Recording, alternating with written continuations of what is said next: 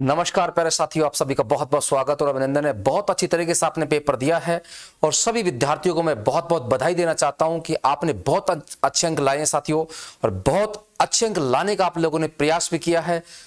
बिल्कुल यहाँ जिन विद्यार्थियों के बानवे से लेकर सत्तानवे परसेंट तक सही है, वो यहाँ राजस्थान सरकार के अंदर एक आदर्श अध्यापक बन सकता है साथियों।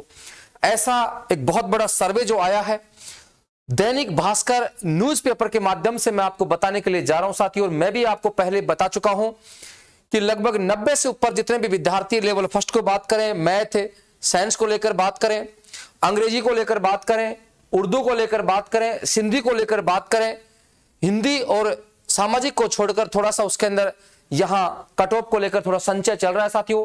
और आपको पूर्ण रूप से, साथियों, विदित है।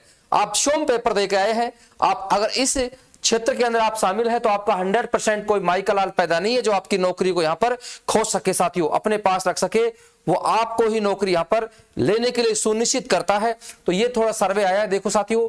लेवल वन की जो कट ऑफ़ है, एक से 205 तक रहने की उम्मीद बताई जा रही है।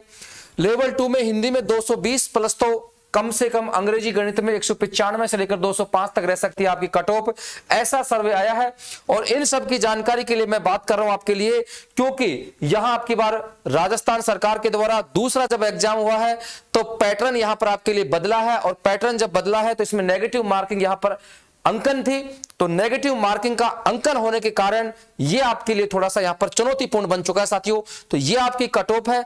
बिल्कुल आप सुरक्षित जोन में है। जो भी विद्यार्थी इससे कम अंक ला रहे हैं, वे एक बार रिज़ल्ट का इंतज़ार करें। अन्यथा अपनी तैयारी आज से ही शुरू कर दे साथियों। बारह हज़ार रीट की पद और आने वाले हैं। और भी भर्ती आएँगे, आपको पता होना चाहिए। आज से ही पढ़ेंगे तो ही अपन कामयाब होंगे साथियों। ऐसा नहीं है कि आप लोग एग्ज़ाम से एक महीने पढ़ लिया, दस दिन पढ़ लिया, वो कामयाब नहीं है। बहुत अच्छी तरीके से प्रश्नोत्तरी निकाली आप लोग। बहुत बहुत आभार बहुत बहुत धन्यवाद सभी मित्रों का।